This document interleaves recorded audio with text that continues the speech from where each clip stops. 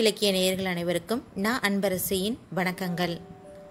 நாம் இன்று வாசிக்க இருப்பது அழகிரிசாமி அவர்களின் வெறும் நாய் என்னும் சிறுகதை. டாக்டர் வீட்டுக்கு வடக்கே ஒரு பெரிய தென்னந்தோப்பு இருக்கிறது. டாக்டர் வீட்டுக்கு கிழக்கே ஒரு பெரிய வீடும் அப்புறம் பல பெரிய வீடுகளும் இருக்கின்றன. டாக்டர் வீட்டுக்கு தெற்கேயும் வீடுகள்தான். மேற்கில் அதாவது முன்புறத்தில் ஒரு பெரிய ரோடு. டாக்டர் ஒரு பெரிய பணக்காரர். தொழிலில் கெட்டிக்காரர். பணத்தையும் கெட்டிக்காரத்தனத்தையும் விட அவருக்கு இருக்கும் செல்வாக்கு அதிகம். அவருக்கு ஏதாவது ஒன்று என்றால் ஊரை திரண்டு வந்துவிடும். காரணம் என்னவென்றால் அவர் கொடுக்கும் உடல்நிலை நற்சாட்சி பத்திரத்தை வைத்துதான் அந்த ஊரில் உள்ள பலரும் உத்தியோகத்தில் சேர்ந்திருக்கிறார்கள். இன்று பெரிய உத்தியோகங்களை வகிக்கிறார்கள். உத்தியோக காலத்தில் நினைத்த நேரத்தில் லீவு வாங்கவும். அபாயகரமான உத்தியோகத்தில் இருப்பவர்கள் பென்ஷன் சகாப்தத்தை தாங்கள் இஷ்டப்பட்ட வருஷத்திற்கு முன்னுக்கு இழுத்துக் கொள்ளவும் அந்த டாக்டர் சர்டிபிகேட் கொடுத்தாக வேண்டும். ஆகவே உத்தியோக வட்டாரத்தில் டாக்டருக்கு எப்படிப்பட்ட மரியாதை இருக்கும் என்று சொல்ல தேவையில்லை. பல பணக்காரர் வீடுகளின் அந்தரங்கங்கள் தொழில்முறையில் டாக்டருக்கு தெரிந்திருந்தன. இதனால் அந்தரங்கம் அவருடைய மனத்தை விட்டு வெளியே போகாமல் இருக்க பல நாபரூபங்களில் அவ்வப்போது சன்மானங்களும் செய்வார்கள் பணக்காரர்கள். தேவைக்கு அதிகமான மரியாதையும் காட்டுவார்கள். உத்தியோகஸ்தர்களும் பணக்காரர்களும் மரியாதை காட்டக்கூடிய ஒரு மனிதனுக்கு மற்ற ஜனங்களிடத்தில் தானாகவே மரியாதையும் செல்வாக்கும் ஏற்படாமல் வேறு என்ன செய்யும்? இப்படிப்பட்ட பெரிய டாக்டருக்கு ஒரு பணக்காரர் ஒரு அருமையான நாயை இனாமாக கொடுத்திருந்தார். அது ஒரு ஜாதி நாய். என்னவோ ஒரு நல்ல ஊர் வர்க்கம். ரூபாய் ஆயிரம் கொடுத்தாலும் அப்படிப்பட்ட நாய் கிடைக்காதென்றும் கிடைத்தாலும் அப்படிப்பட்ட உத்தம குணம் உள்ளதாக கிடைக்காது என்றும் டாக்டர் தம் தரத்துக்கு ஒப்பான பெரிய மனிதர்களிடம் அடிக்கடி சொல்லிக் கொண்டே இருப்பார். இப்படிப்பட்ட உத்தம குணமுள்ள ஜாதி நாய் ஒரு நாள் திடீரென்று வாசல் திண்ணையில் நின்று குறைத்தது குறைத்து கொண்டே முற்றத்தில் குதித்தது. குதித்ததை மறக்க வைத்துவிட்டது அதன் நாலு கால் பாய்ச்சல். காம்பவுண்ட் வேலியில் நுழைந்து வீட்டிற்கு எதிரே உள்ள ரோட்டில் பிரவேசித்தது. இத்தனை ஆட்டம் பாட்டங்களுக்கும் மூல காரணமாக இருந்து ஆட்டி வைத்தது தெருவோடு போய்க் கொண்டிருந்த ஒரு நாய்தான். அது ஜாதி நாய் அன்று. கேவலம் வெறும் நாய்தான். ஜாதி நாயும் வெறும் நாயும் பள்ளும் ஈரும் வெளியே தெரியும்படியாக வாயை வைத்துக்கொண்டு உருமின. அப்போது வாய்களை பார்க்க பயமாக இருந்தது. பிறகு விசில் கொடுத்து பாய சொன்னது போல் இரண்டும் டபக்கென்று பாய்ந்தன. குறைக்கிற முழக்கம் ஊரை தூக்கிவிட்டது. டாக்டர் சாப்பிட்டுக் கொண்டிருந்ததால் தம்முடைய சொந்த நாய்தான் திக்கு விஜயார்த்தமாக போய் இப்படி குறைத்துக் கொண்டிருக்கிறது என்பதை அறிய முடியாமல் போய்விட்டது. சில நிமிஷ சண்டையிலேயே ஜாதி நாய்க்கு ஆறு இடங்களிலும் வெறும் நாய்க்கு நான்கு இடங்களிலும் பல்பட்டு படுகாயமாகிவிட்டது. ரத்தமும் ஒழுக தொடங்கியது. இரண்டு நாய்களுக்கும் மேற்கொண்டு தலா இரண்டு காயங்களும் ஏற்படக்கூடிய சந்தர்ப்பத்தில் டாக்டர் வந்துவிட்டார். அவருக்கு வந்த கோபத்துக்கு இக்கரைதான் உண்டை தவிர அக்கறை கிடையாது. அந்த அயோக்கிய பயலை நான் எத்தனை தடவை எச்சரிக்கை பண்றது? ராஸ்கல் என்று சொல்லிக்கொண்டே சுற்றும் முற்றும் தேடினார். கல் அகப்படவில்லை. இதனால் கோபம் இன்னும் அதிகமாகிவிட்டது. அப்புறம் அவருடைய நாய் வாளை மடக்கிக் கொண்டு திரும்ப ஓடி வருவதையும் அதை துரத்திக் கொண்டு வெறும் நாய் ஓடி வருவதையும் பார்த்தார். இனி அந்த பயலிடத்தில் சொல்லி ஆக போறது என்ன? இந்த நாயை சுட்டு பொசுக்கின்றேன். அப்புறம் எவன் வந்து என்னை கேட்பான்னு பார்ப்போம். இப்படி டாக்டர் சொன்னது வாஸ்தவம். ஆனால் அது முழு பொய் ஏனென்றால் அவரிடம் ரிவால்வரோ துப்பாக்கியோ தீவட்டியோ கூட கிடையாது சுடுவதற்கு. அத்துடன் கேவலம் ஒரு கல் கூட பளிச்சென்று அகப்படவில்லை. கடைசியில் வாடாமல்லிகை செடிக்கு தண்ணீர் விடுமிடத்தில் தண்ணீர் குளிப்பறிக்காமல் இருப்பதற்காக ஒரு சிறு சதுரக்கல் பதிக்கப்பட்டிருந்தது. அது இலைமறைவு கல்மறைவாக டாக்டருக்கு தென்பட்டது. கை சேறு ஆனாலும் பரவாயில்லை என்று கல்லை எடுத்தார். இத்தனை காரியங்களும் கண் மூடி திறப்பதற்குள்ளாகவே நடந்துவிட்டது. கல்லை கையில் எடுத்தார் குறிப்பார்த்தார் குறி சரியாக இருக்கிறது என்று நினைத்துக் கொண்டார். போக்கழுதை என்று ஆத்திரத்தோடு கூறிக்கொண்டு வெறும் நாயை பார்த்து எறிந்தார் தனக்கு ஏழு கஜ தூரத்திற்கு அப்பால்தான் கல் விழும் என்று தெளிவாக தெரிந்திருந்தும் அந்த வெறும் நாய் முட்டாள்தனமாக இயல்பான வேகத்தை விட அதிக வேகத்தில் ஓடத் தொடங்கியது. தப்பி பிழைத்தது வெறும் நாய். அது அங்கேயே நின்று தன் உடம்பில் கல்லறியையும் தாங்கிக் கொண்டு அப்படியே செத்துப்போகாமல் ஓடிவிட்டதை கண்டார் டாக்டர். அவருடைய கோபம் இன்னும் அதிகரித்தது. அதிகரிக்காமல் இருக்க முடியாது. உடனே அதிவேகமாக வடப்புறத்திலுள்ள தென்னந்தோப்புக்குள் நுழைந்தார். டாக்டர் எந்த ஆசாமியை தேடி போனாரோ அந்த ஆசாமி குடிசையிலேயே இருந்தான். ஏய் முனிசாமி உன்னாயை இன்னைக்காவது கட்டி போடுறியா? இல்லை அதை சுட்டு போடட்டுமா? என்று ஒரு போடு போட்டார் டாக்டர். முனிசாமிக்கு கிளி அடித்து விட்டது. நாய் சுடப்படும் என்பதற்காக அல்ல டாக்டரின் கோபத்துக்கு ஆளானதற்காக. முனிசாமி அஞ்சி ஒடுங்கி தெரியாம நடந்துட்டதுங்க. நாளைக்கு அந்த நாயை கொண்டு போய் ஊரிலே என் மச்சான் வீட்டுல விட்டுட்டு வந்துடுறேனுங்க. இந்த வாட்டி மன்னிச்சுக்கணுங்க என்று கும்பிட்டான். மன்னிக்கவா ஸ்டூபிட் ஃபெலோ உனக்கு எத்தனை தடவை நான் சொல்றதுடா? என்று டா போட்டு பேசினார். சரி டாக்டருக்கு கோபம் அதிகமாக இருக்கிறது என்று ஊகித்துக் கொண்ட முனிசாமி நாயை இப்பவே கட்டி போடுறேனுங்க என்று சொல்லிவிட்டு சும்மா இருக்காமல் நாய் உங்களை கடிச்சிட்டதா என்று கேட்டுவிட்டான். டாக்டரின் கோபம் ஒரே அடியாக அதிகரித்தது. ஏனென்றால் நாய் அவரை கடிக்காதது ஒன்று. கடிக்காத வரைக்கும் முனிசாமி தன்னை நிரபராதி என்று நினைத்தது ஒன்று. எல்லாவற்றையும் விட அவன் தன்னை பார்த்து விசாரித்துக் கொண்டிருப்பது ஒன்று. இன்னைக்கே சுட்டு போடுறேன். உனக்கும் புத்தி புகட்டுகிறேன் என்று சொல்லிவிட்டு டாக்டர் திரும்பிவிட்டார். முனுசாமி பின்னால் ஓடி வந்தான். கோச்சுக்காதீங்க கோச்சுக்காதீங்க என்று கெஞ்சினான். பிறகு நாயை பிடித்து கட்ட டாக்டருக்கு முன்னதாக ஓடினான். அவனுடைய கட்டுமஸ்தான வஜ்ர தேகம் வேர்த்து வெயிலில் பளபளத்தது. டாக்டருக்கும் வேர்த்து விட்டது. மிகவும் அலுப்போடு தம் பங்களாவை நோக்கி வந்து கொண்டிருந்தார். நாயை தேடி கண்டுபிடிக்க முனுசாமி ரோட்டில் பிரவேசித்தான். என்னங்கோ? துட்டுக்காரங்க வீட்டுல கட்டி போட்டிருக்கிற மாதிரி நாயை கட்டி போட்டிருக்கீங்களே? அதுக்கு சாப்பாடு போடுறது எப்படியாம்? என்ன மச்சான்? என்று முனிசாமியின் மனைவி சிரித்துக்கொண்டே கேட்டாள். முனிசாமிக்கு ஞானோதயம் ஆகிவிட்டது. ஆமா குட்டி நீ சொல்வது உண்மைதான் என்று ஒப்புக்கொண்டு விட்டான். பொண்டாட்டி விழுந்து விழுந்து சிரித்தாள். முனிசாமி நடந்த கதையை விடாமல் சொன்னான். டாக்டர் சுட்டு விடுவேன் என்று இரண்டு மூன்று முறைதான் சொன்னார். ஆனால் முனிசாமியோ அவர் ஆயிரம் தடவை சொன்னது போல சொன்னான். முனிசாமியின் மனைவியும் பயந்து விட்டாள். இருந்தாலும் டாக்டர் அவர் வீட்டு நாயை கட்டி போட்டிருந்தா இது அதை கடிச்சிருக்குமா? அவரும் நாயை கட்டி போடல நாமளும் கட்டி போடலே. இரண்டும் கடிச்சுக்கிச்சு காயமும் ஆகி போச்சு நம்மள மட்டும் டாக்டர் எப்படி குத்தம் சொல்லலாம் என்று கேட்டாள். என்ன புள்ளே ஒரே அடியா அளக்கிறே? அவங்க யாரு நம்ம யாரு? ரெண்டும் ஒண்ணு ஆயிடுமா? நாம தான் நம்ம நாயை கட்டி போடணும். விவரம் இல்லாம பேசுறியே என்று எகத்தாளமாக சிரித்துக் கொண்டே சொன்னான் முனிசாமி. அப்படினா சாப்பாடு போட்டு வளருங்கோ என்று சொல்லிவிட்டு அப்பால் போய்விட்டாள் பொண்டாட்டி. முனிசாமிக்கு பெரிய புதிராகிவிட்டது அதனால் கூட்டு ஆலோசனை செய்து புதிரை விடுவிப்பதற்காக குடிசைக்குள் நுழையும் மனைவியை மரநிழலுக்கு பழையபடியும் அழைத்தான். என்னங்கோ? அப்படினா நாயை அவுத்து விட்டுற வேண்டியதுதான். என்ன சொல்றே? அப்புறம் டாக்டர்? அப்படினா நீ என்னதான் செய்ய சொல்ற பிள்ளை? ஒன்னும் செய்ய சொல்லலே. பொண்டாட்டி சிரித்தாள். முனிசாமிக்கு கோபம் வந்துவிட்டது. இருந்தாலும் புது பொண்டாட்டியை வெளிப்படையாக கோபித்துக் கொள்ள இஷ்டமில்லை. பிறகு தூங்கி எழுந்தவனைப் போல தலையை தூக்கி ஏறிட்டு பார்த்து வெத்திலி பாக்கை எடுத்து வா போ என்று சொன்னான். பொண்டாட்டி வெற்றிலை பாக்கை கொண்டு வரும்போது முனிசாமியின் முகத்தில் சந்தோஷ குறி தென்பட்டது. யோசனை பண்ணிப்புட்டேன் பிள்ள. நம்ம மோட்டுக்குப்பம் கபாலி போன வருஷம் வளர்க்கறதுக்கு நாய்க்குட்டி கிடைக்குமான்னு கேட்டுக்கிட்டே இருந்தான். அவனுக்கு கொடுத்துடலாம்னு யோசனை பண்ணிப்புட்டேன். அவர் குட்டி தானே கேட்டாரு. இம்மாத்த பெருச நாயா கேட்டாரு. அதுக்கு என்ன புள்ள? இது குட்டி போடாதா? குட்டி போட்டாலும் போடாவிட்டாலும் நாயை வாங்கிக் கொள்ள யாதொரு மறுப்பும் சொல்லவில்லை மோட்டுக்குப்பம் கபாலி. அவன் அதே தெருவில் அரை மைல் தூரம் வடக்கே தள்ளி முனிசாமியைப் போலவே ஒரு குடிசையில் வசித்து வந்தான். நாயை கட்டி போட்டு வளர்க்க வேண்டும் என்று சொல்ல வாயெடுத்த முனிசாமி அந்த புத்திமதியை சொல்லாமல் உள்ளே அமுக்கிக் கொண்டான். கட்டி போட்டு சாப்பாடு போட்டு வளர்க்க தன்னால் இயலாது என்று அவன் சொல்லிவிடுவானோ என்று முனிசாமிக்கு பயம். டாக்டர் சுட்டு போடுவேன் என்று சொன்னதற்கு மறுநாள் தான் இந்த நாய் தானம் நடந்தேறியது. அதிலிருந்து டாக்டர் சம்பந்தப்பட்ட மட்டில் முனிசாமி புது மாதிரியாக நடந்து கொள்ள ஆரம்பித்தான். அதற்கு முன்னால் டாக்டரை பற்றி அவன் சிந்தித்தது கூட கிடையாது. டாக்டர் என்றென்றும் தன் மீது கோபத்துடன் தான் இருப்பார் என்றும் அவருடைய கோபத்தை தனித்து அவரிடத்தில் நல்ல பிள்ளை என்று பெயர் வாங்குவதில்தான் தன் பிழைப்பே அடங்கி இருக்கிறது என்றும் நினைத்து விட்டான்.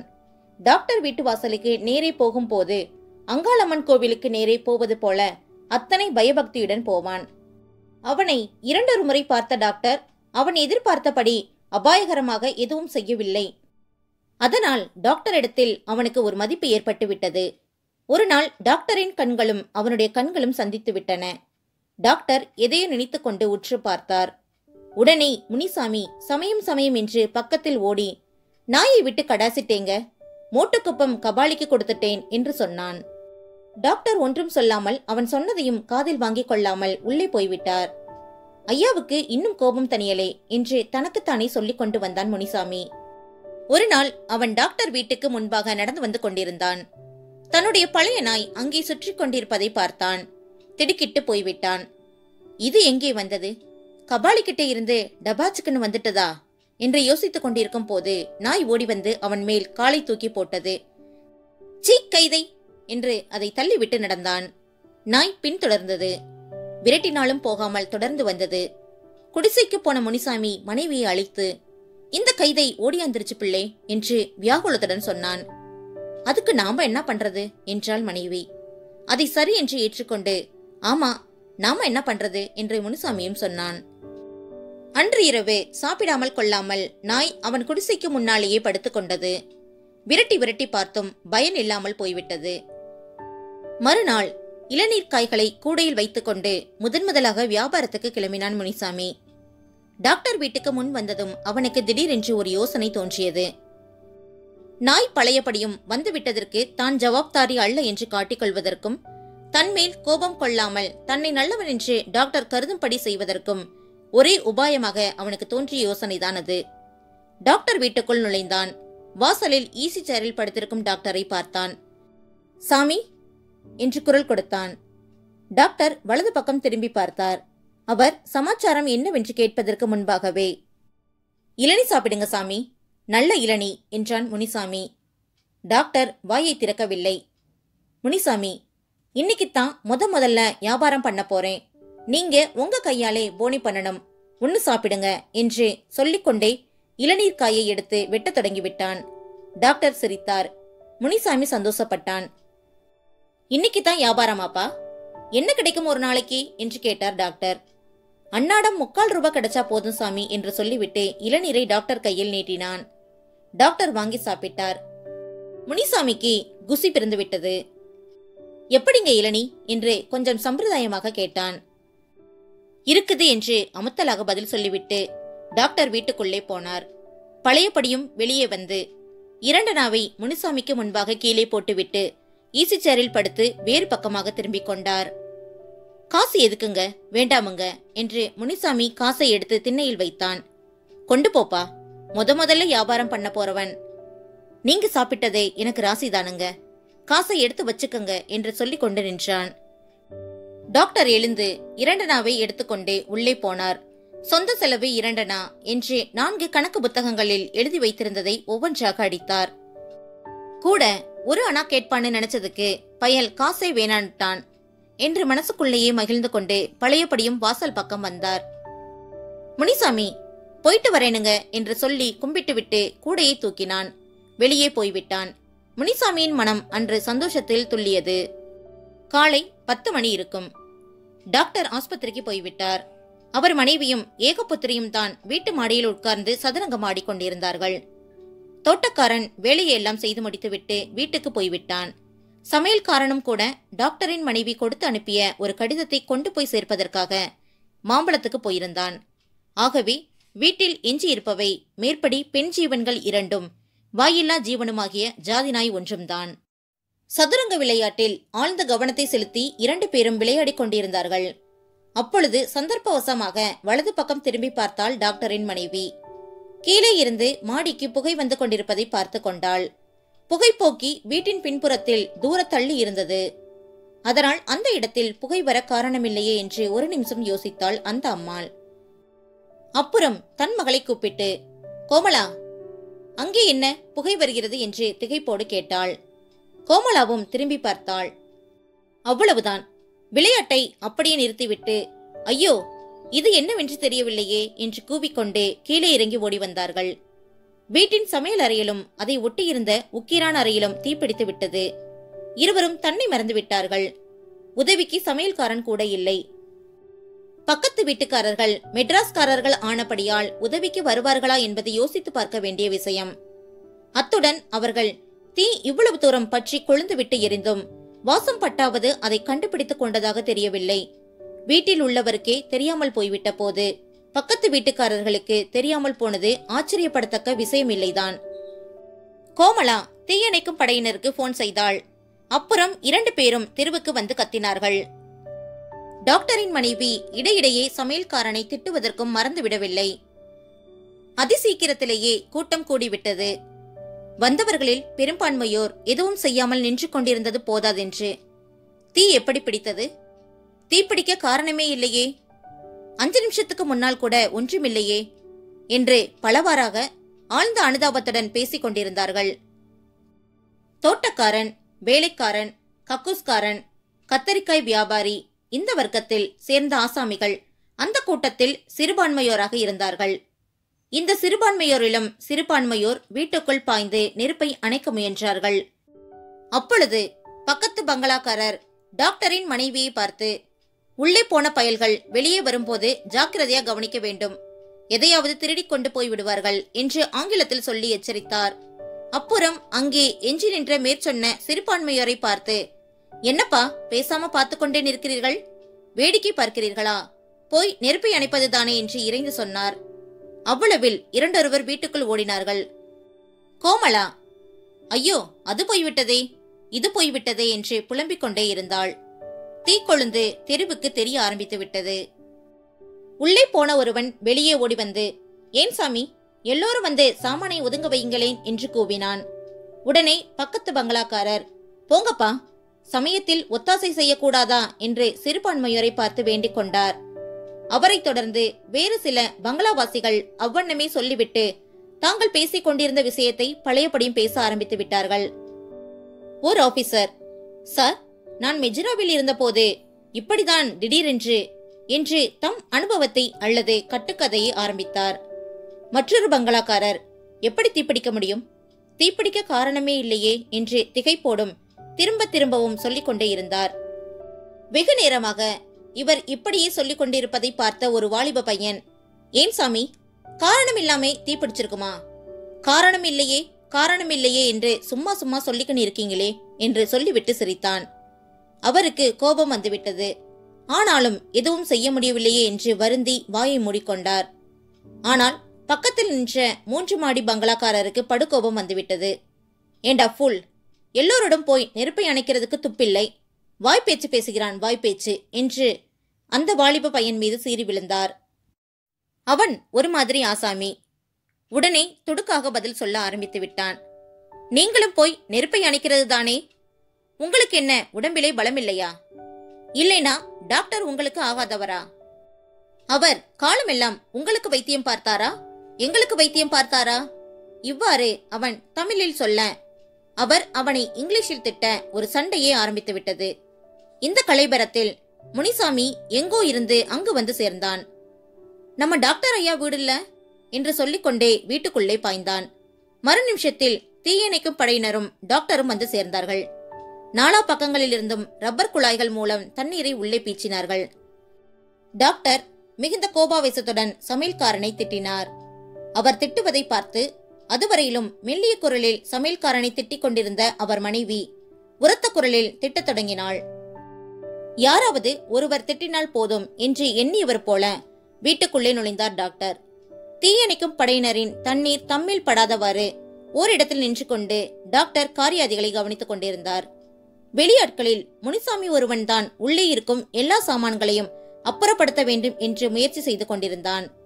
தீயணைக்கும் படையினரில் இரண்டொருவனின் ஒத்தாசையுடன் அரிசி மூட்டைகளை வராந்தாவில் கொண்டு வந்து போட்டான். அவன் உடம்பெல்லாம் தண்ணீரும் புகையுமாக இருந்தது. வெளியே வாப்பா என்று டாக்டர் இரண்டொரு முறை சொல்லியும் அவன் வராமல் சாமான்களை எடுத்து பத்திரப்படுத்திக் கொண்டிருந்தான்.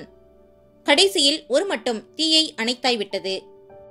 தீயணைக்கும் படையின் தலைவர் டாக்டருக்கு முன்னால் நின்ற முனிசாமியை சுட்டிக்காட்டி உங்கள் வேலைக்காரன் சரியான ஆசாமி. அவன் ஒத்தாசை இல்லாவிட்டால் இவ்வளவு சீக்கிரத்தில் நெருப்பை அணைத்திருக்க முடியாது என்று ஆங்கிலத்தில் சொன்னார். டாக்டர் உடனே அதை மறுத்து இவன் என் வேலைக்காரன் அல்ல என்றார்.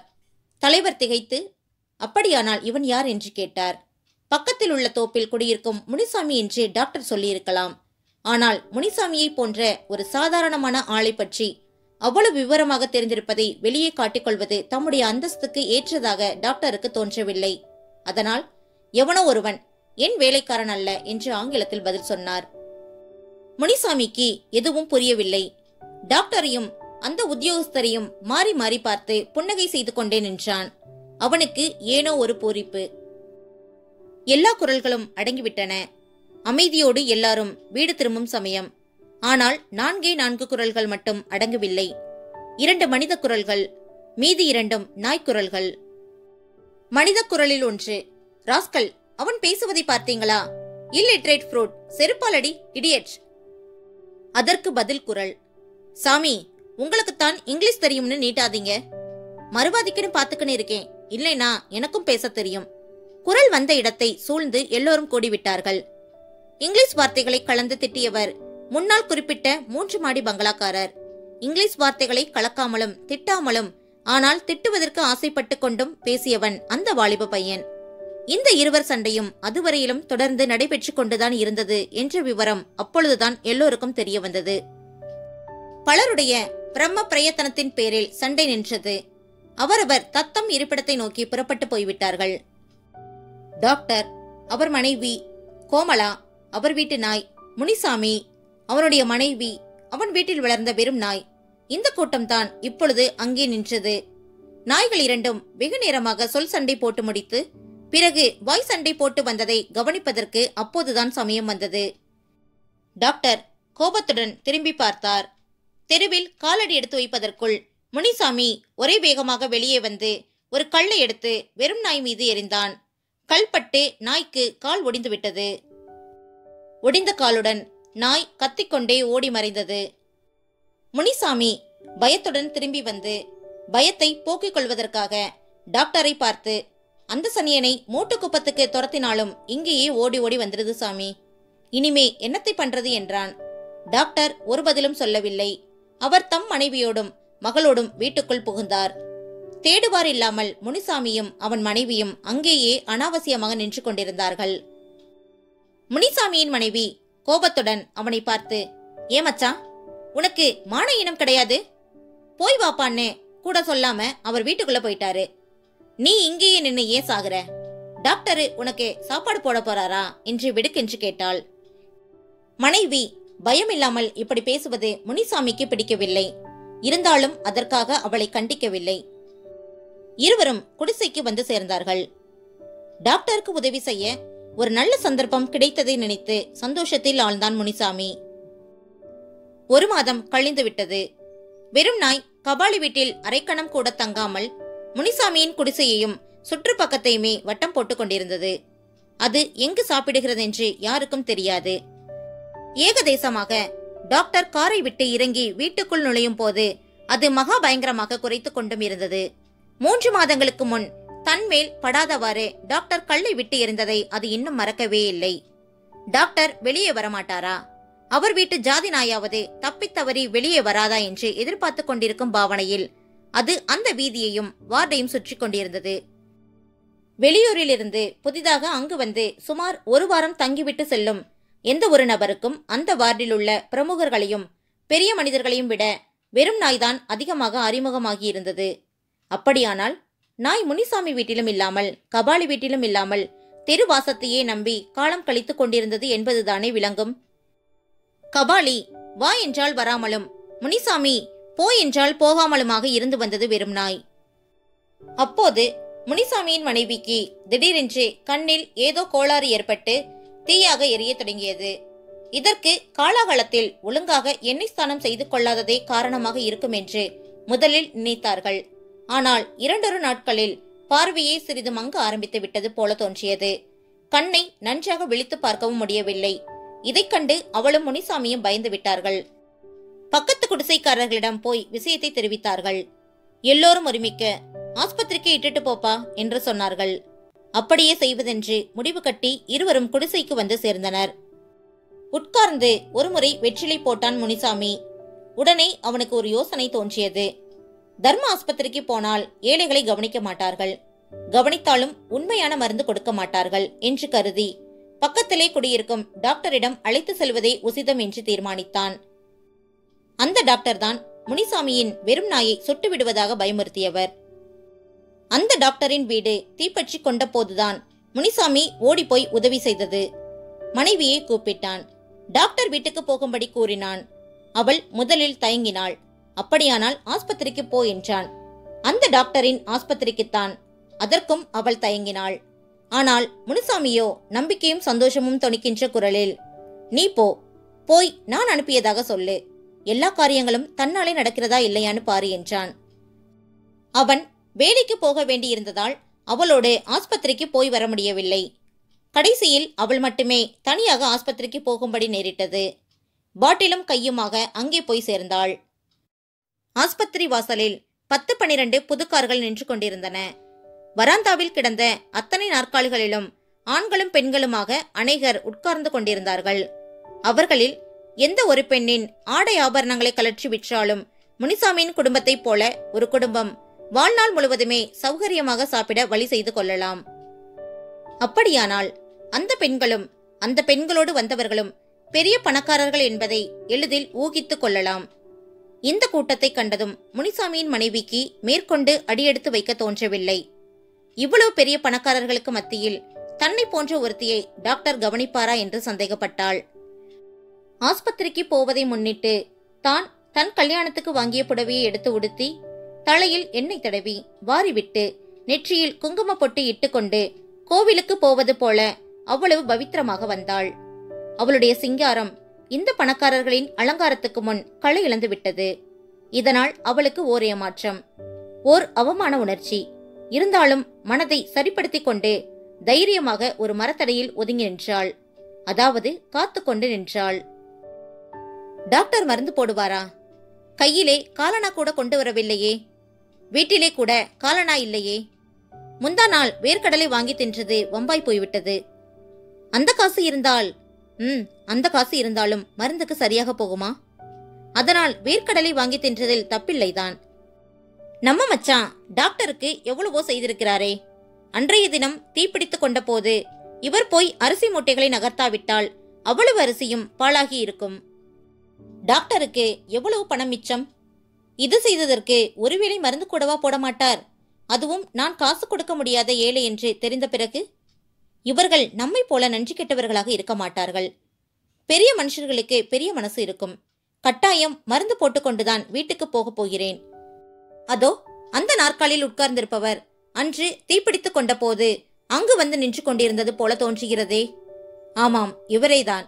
இவர்தான் மூன்று மாடி பங்களாக்காரர். இங்கிலீஷ்லேயே திட்டிக்கொண்டு ஒரு வாலிப பையனுடன் சண்டை போட்டவர்.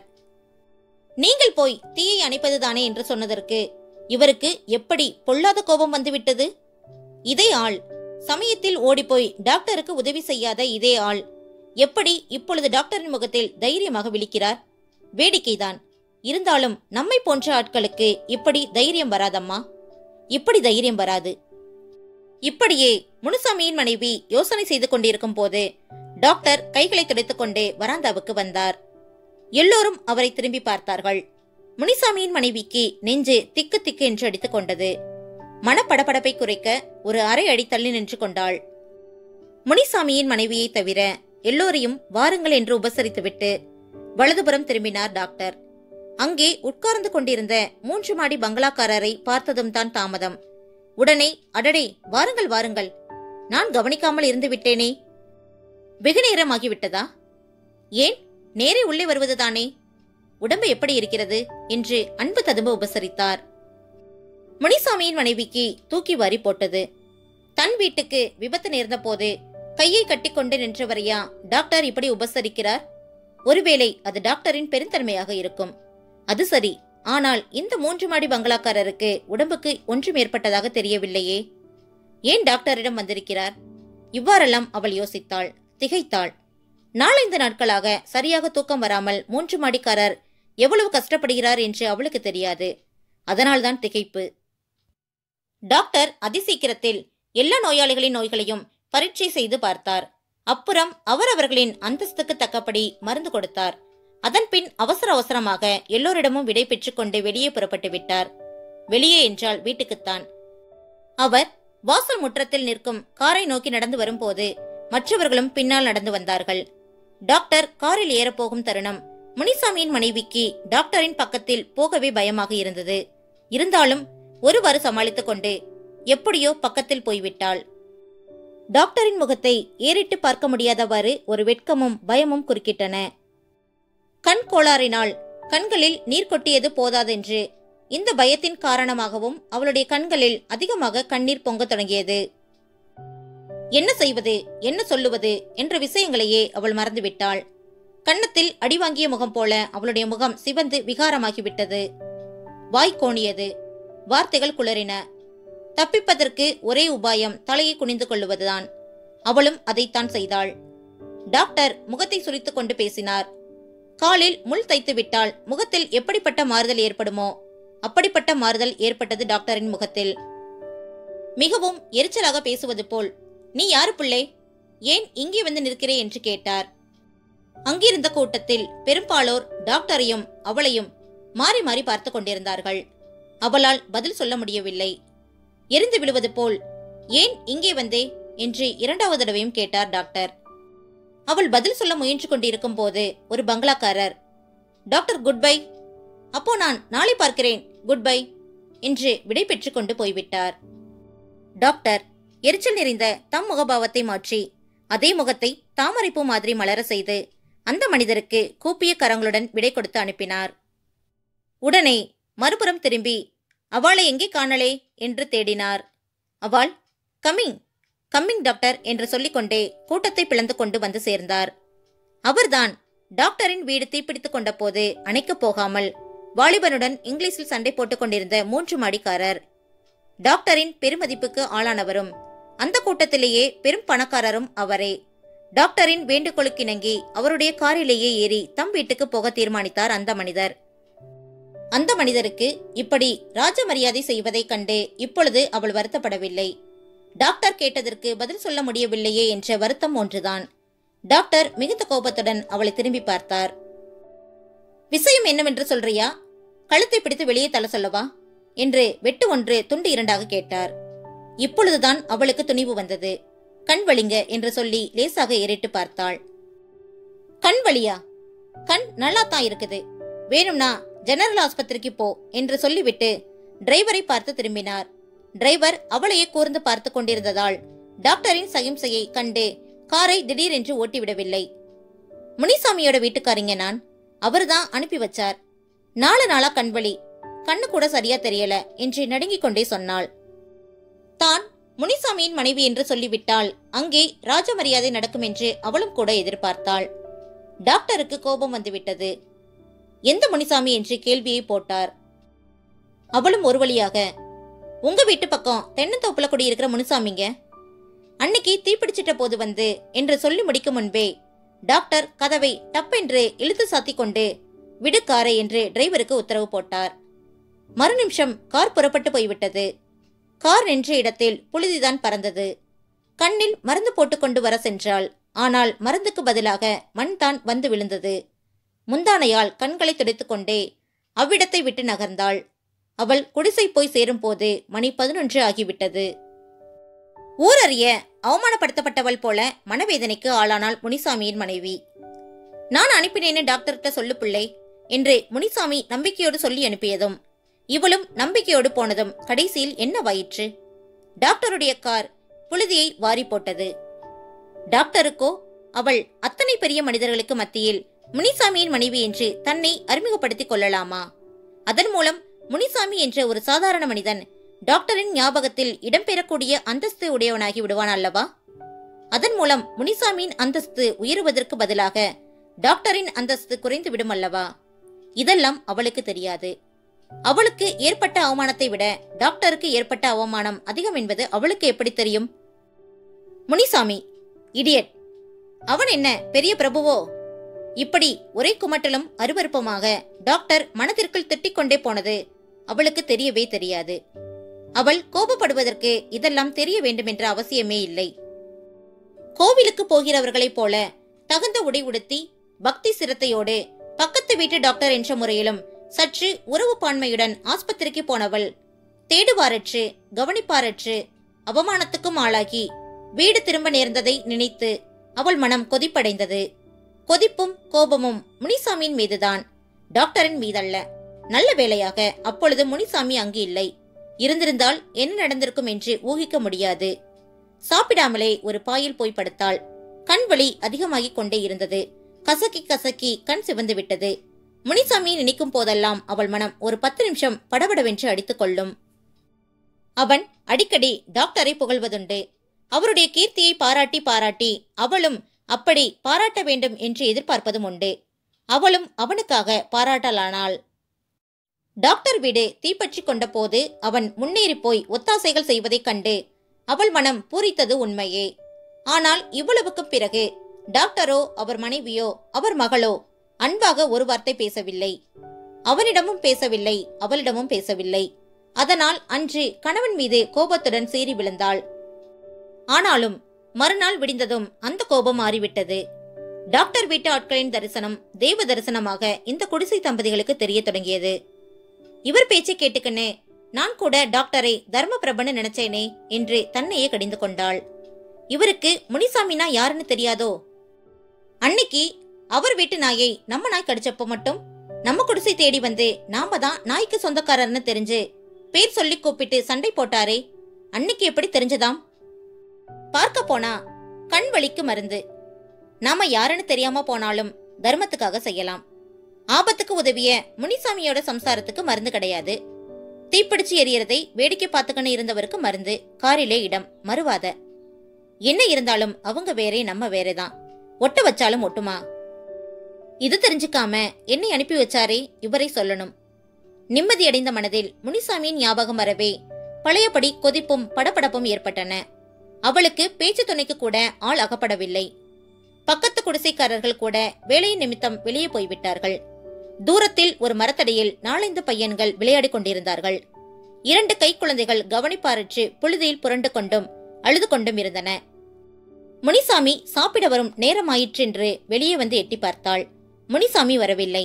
ஆனால் இவளை பார்த்த மாத்திரத்தில் வெறும் நாய் எங்கோ இருந்து ஓட்டம் ஓட்டமாக ஓடி வந்தது. இவளுடைய மனநிலையோ எதை பார்த்தாலும் வெறுப்பு கொள்ளத்தக்க நிலையில் இருந்தது. அதனால் நாய் அதிவேகமாக தன்னை நோக்கி ஓடி வருவதை பார்த்ததும் எண்ணத்தை பார்த்து வர்றியாம்? சீப்போ என்று விரட்டினாள். நாய் போகவில்லை. அவளுக்கு சிறிது நேரத்தில் மனம் மாறியது போல தோன்றியது. நாயை விரட்டாமலே வீட்டுக்குள்ளே போய்விட்டாள். நாயும் பின்தொடர்ந்து சென்று அவளுக்கு பக்கத்திலேயே உட்கார்ந்து கொண்டது. சுமார் இருபது நிமிடம் கழிந்திருக்கும். முனிசாமி வந்துவிட்டான். வந்ததும் வராததுமாக அவன் பார்வை வெறும் நாயின் மீதுதான் விழுந்தது. உடனே சீ கைதை போ வெளியே என்று கல்லை எடுத்து எறிந்தான். நாய் அங்கு எடுத்த ஓட்டத்தை எங்கு போய் நிறுத்தியதோ தெரியாது. இரவு மணி ஒன்பது. டாக்டரின் பங்களா இருந்த பகுதியில் அமைதி நிலவியிருந்தது. மழைக்காலமாதலால் ஒரே குளிர் வாடை அடித்துக் கொண்டிருந்தது. எல்லோரும் வாசல் கதவுகளையும் ஜன்னல் கதவுகளையும் பூட்டிக்கொண்டு அவரவர்களின் வீட்டுக்குள்ளே இருந்தார்கள். ஒரே நிசப்தம். ரேடியோவில் அது செய்தி நேரமாதலால் ஒரு வீட்டில் கூட ரேடியோ சத்தம் கேட்கவில்லை. இரவு பத்து மணி வரையிலுமே ஒருவரும் ரேடியோவை திறக்க மாட்டார்கள். அப்புறம்தான் இந்துஸ்தானி சங்கீதம் வீதி எங்கும் முழங்கும். ஈரக்காற்றின் காரணமாக ஒருவரும் தெருவில் நடமாடவில்லை. டாக்டர் மட்டும் தற்செயலாக வெளியே வந்தார். அவரை பின்தொடர்ந்து ஜாதி நாயும் வந்தது. பெரிய உத்தியோகஸ்தனுக்கு பின்னால் சின்ன உத்தியோகஸ்தன் வருவதைப் போல அர்த்தமில்லாமல் தொடர்ந்து வந்து கொண்டிருந்தது ஜாதி நாய். டாக்டர் காம்பவுண்டை விட்டு வெளியே வீதிக்கு வந்துவிட்டார் நாய் மட்டும் உள்ளே எதையோ மோப்பம் பிடித்துக்கொண்டு சத்தம் கேட்கும்படியாக மூச்சை உள்ளே இழுத்த வண்ணம் இங்கும் அங்கும் சுற்றி கொண்டே இருந்தது. அது தெருவுக்கு வரவில்லை. டாக்டர் வெளியே வந்து ஒருமுறை நாலா பக்கமும் பார்த்தார். மறு நிமிஷத்தில் காம்பவுண்டுக்குள் இருக்கும் ஜாதி நாய் உர் என்று உரிமியது. இருட்டில் அடையாளம் தெரியாமல் தம்மை பார்த்து மிரட்டுவதாக நினைத்துக்கொண்டு நாயை பெயர் சொல்லி அழைத்தார். அந்த ஜாதி நாய் அப்புறமும் சும்மா இருக்கவில்லை. டாக்டர் தெருவில் நிற்கிறார் என்ற தைரியத்துடன் ஒரே பாய்ச்சலாக பாய்ந்தது. குறைக்கும் சத்தம் வானை பிளந்தது. அப்பொழுது எதிர் திசையிலிருந்து கோஷம் கொடுத்துக்கொண்டே முன்னேறி வந்தது வெறும் நாய். முனிசாமியின் முன்னாளைய நாய். அன்று அதற்கு சரியாக சாப்பாடு கிடைக்காததால் அதன் குரல் கிளம்பும் போது பல ஸ்வரங்களில் கிளம்பியது. முழு மூச்சுடன் இரண்டும் சொல் யுத்தம் நடத்த ஆரம்பித்தன. வெறும் நாய் மீது டாக்டருக்கு வெகு நாளாக கோபம் என்பது இங்கு சொல்லாமலே தெரிந்து கொள்ளக்கூடிய செய்தியாகும். ஆனால் வெறும் நாய்க்கோ டாக்டர் மீது அதைவிட அதிக கோபம் என்று டாக்டருக்கும் தெரியாது முனிசாமிக்கும் தெரியாது. இப்போது டாக்டரும் ஜாதி நாயும் சேர்ந்து தன்னை மிரட்டுவதனாலும் தனக்கு அன்று சாப்பாடு கிடைக்காத விசனத்தினாலும் அது உயிரை வெறுத்து குறைத்தது. டாக்டர் கல்லை எடுக்க குனிந்தார். அந்த நேரத்திற்குள் வெறும் நாய் புலிப்பாய்ச்சலாக பாய்ந்து டாக்டரின் முழங்காலுக்கு கீழாக தன் பற்கள் அத்தனையும் பதியும்படி கடித்து இழுத்து விட்டது டாக்டரின் கூக்குரல் நாய்கள் குறைக்கும் சத்தத்தை அமுக்கிவிட்டது. வெறும் நாய் இதற்கெல்லாம் அஞ்சவில்லை. இரண்டாவது தடவையாகவும் கடிப்பதற்காக மிகவும் முயற்சி செய்தது. ஆனால் டாக்டர் கல்லால் அடிப்பது போல வெறும் கையை வீச வெறும் கையை கண்டு விஷயம் தெரியாமல் வெறும் நாய் பயந்தோட டாக்டரும் வாயு வேகத்தில் காம்பவுண்டுக்குள் பாய்ந்து கதவை மூடிக்கொண்டார். டாக்டர் வழி தாங்க முடியாமல் துடித்தார்.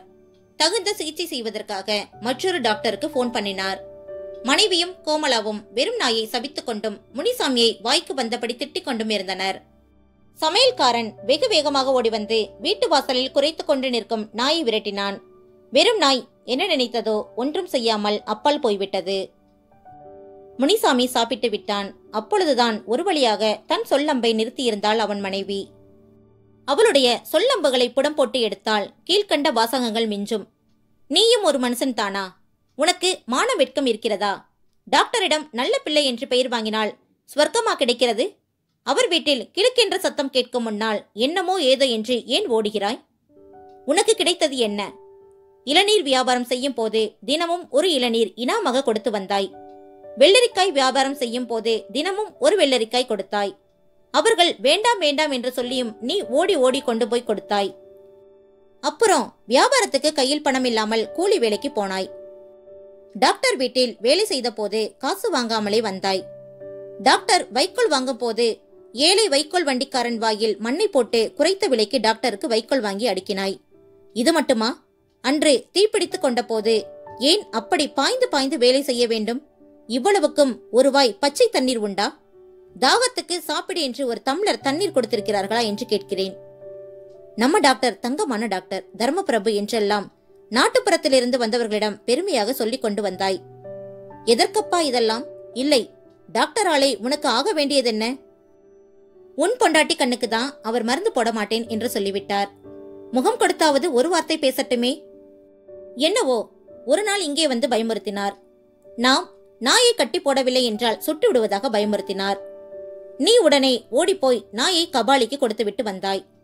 அப்பொழுது பயப்பட்டதை என்னவோ ஏதோ என்று விட்டுவிட்டேன் நீ அத்துடன் நின்றாயோ? டாக்டர் கழுத்தை வெட்டி விடுவார் என்று பயந்தாயோ என்னவோ? அவரிடம் நல்ல பிள்ளையாக நடக்க ஆரம்பித்தாய். அதையும் நான் பொருட்படுத்தவில்லை. அப்புறம் என்னடா என்றால் அவருக்கு வழிய போய் அடிமையாகி விட்டாய் ஒரு நாள் வந்து பயமுறுத்தியதற்காக இவ்வளவும். நீயும் ஒரு ஆண் பிள்ளைதானா? அவர் என்ன செய்து விடுவாராம்? நமக்கு ஆயிரம் இரண்டாயிரம் என்று சொத்து இருந்தாலாவது பயப்பட வேண்டும். சொத்துக்கு ஆபத்து வந்துவிடுமே என்று பயப்படுவதில் நியாயம் உண்டு. நாமோ நாயினும் கேடாக பிழைக்கிறோம். நாம் ஏன் பயப்பட வேண்டும்? இல்லை டாக்டருக்கு அடிமை செய்தால் உன் வயிறு நிறைகிறதா? உன் பொண்டாட்டிக்கு ஒருவேளை மருந்து போட மாட்டேன் என்று சொன்னதை கொஞ்சம் யோசித்துப்பார்.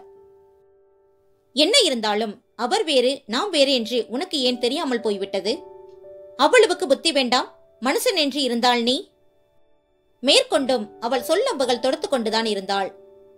முனிசாமி அவமானம் தாங்காமல் குடிசையை விட்டு வெளியே வந்தான்.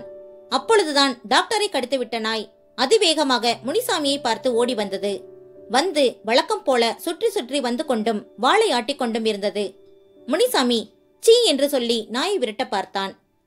அதற்குள் டாக்டர் வீட்டு சமையல்காரன் ஓடி வந்து நாய் டாக்டரை கடித்துவிட்ட விவரத்தை சொல்லி என்னென்னவோ திட்டினான். நான் என்ன செய்வேன்? நான் எப்பொழுதோ நாயை கபாலிக்கு கொடுத்து விட்டேன். அது விரட்டினாலும் போகாமல் இங்கேயே வந்து கொண்டிருக்கிறது என்று பரிதாபமாக சொன்னான் முனிசாமி. பயம் அவன் இருதயத்தில் பேய் அறைந்தது போல் அறைந்துவிட்டது இதற்குள் முனிசாமியின் மனைவி வெளியே வந்தாள். சமையல்காரன் டாக்டர் தேடுவாரே என்று திரும்பி போய்விட்டான். விஷயம் என்னவென்று கேட்டாள் மனைவி. முனிசாமி நடுங்கிக் கொண்டே சொன்னான்.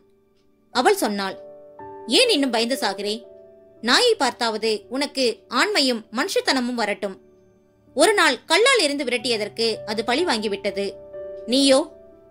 தன் வயிற்றெரிச்சல் தீர நாய்க்கு அன்று சோறு போட்டால் முனிசாமியின் மனைவி. முனிசாமி ஒன்றுமே பேசவில்லை. இரவு பத்தரை மணிக்கெல்லாம் படுத்து விட்டார்கள். நாயும் அந்த குடிசையிலேயே படுத்துக்கொண்டது வெளியே மழை பெய்து கொண்டிருந்ததால் நாய் வெளியே போகவோ நாயை வெளியே விரட்டவோ வசதி இல்லாமல் இருந்தது. மனைவி நன்றாக தூங்கிவிட்டாள். முனிசாமிக்கு தூக்கம் வரவில்லை. ஒருமுறை தன் மனைவியை பார்த்து கொண்டான். அப்புறம் தூங்கிக் கொண்டிருக்கும் நாயின் பக்கமாக போய் உட்கார்ந்து தடவி கொடுத்தான். நாய் என்றால் இதுவல்லவா நாய்? என்று சொல்லுவது போல் இருந்தது அவன் தடவி கொடுத்தது. வெறும் நாய். ஆனந்த மிகுதியால் எழுந்து முனிசாமியின் புஜங்களின் மீது கால்களை போட்டு விளையாட ஆரம்பித்தது. மனுஷனுக்குத்தான் ஜாதி பொத்தி போகும் என்றால் நாய்க்கும் போய்விடுமா? இதன் வழி வாசிப்பினில் திளைக்க இந்த சேனலை சப்ஸ்கிரைப் செய்யுங்கள். லைக் பண்ணுங்க கமெண்ட் பண்ணுங்க ஷேர் பண்ணுங்க.